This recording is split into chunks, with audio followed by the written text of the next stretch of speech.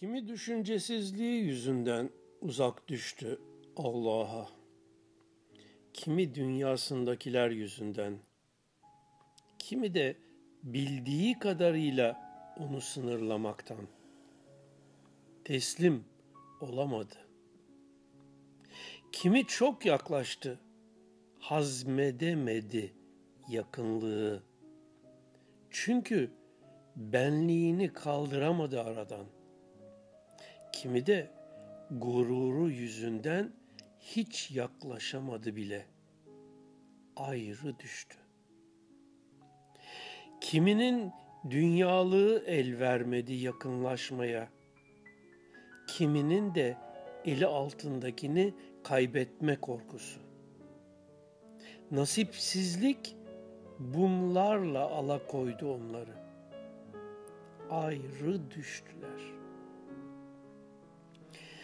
Teslim olmak ağır geldi gururlarına, benliklerine. Korkularını aşamadılar. Dünyalarındakilerden vazgeçemediler Allah uğruna. Ayrı düştüler. Yüzünü gösterdiğinde onu kabullenemeyip beklentilerine cevap vereceğini zannettikleri tanrılarıyla avunmayı seçtiler. Teslim olamadılar.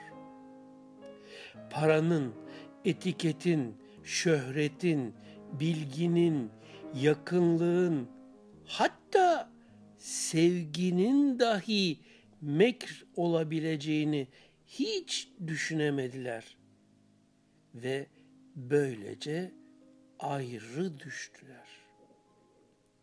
Kısacası benliklerini oluşturan ögelerden uyarılmalarına rağmen çeşitli bahanelerle kopamadılar.